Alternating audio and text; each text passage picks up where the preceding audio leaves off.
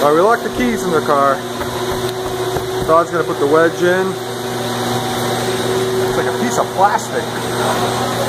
Just gonna slide in try to hook it on the door lock.